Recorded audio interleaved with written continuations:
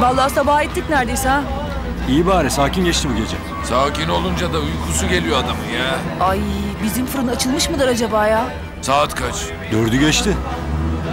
Yavaş yavaş çıkıyordur bir şeyler. Aylin çay ayarlarsın ama bak. Ayıp ediyorsun. Ayarlarım abi. Nasıl acıktım var ya of. Fatih şu Ortaköy'deki fırının oradan geçelim canım hadi. hadi. başkomiserim.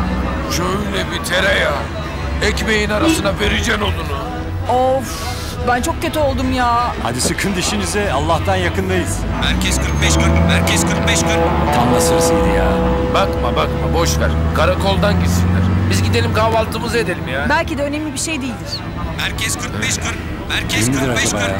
Değildir ya değildir. Yok yok bakalım biz yine ne olur ne olmaz ya. Öf. 45 40 nerede? Beyoğlu Dutağcı sokakta kimliği belirsiz yaralı şahıs. Anlaşıldı merkez hemen intikal ediyoruz. Yattı mı şimdi bizim sıcak ekmekler, poğaçalar, tereyağlar? Hem de 2.80 yattı Aylin'cim. Kusura bakma başka sefer artık. Biz zaten bir insan gibi kahvaltı etmeyelim. Anca intikal edelim. İntikal. Şans işte abi. Hay ben böyle şansım. Ya Fatih dönsene oğlum sen de şuradan ya. Daldın iyice ha. Beyoğlu'na gidiyoruz oğlum hadi Beyoğlu'na. Tamam başkomiserim.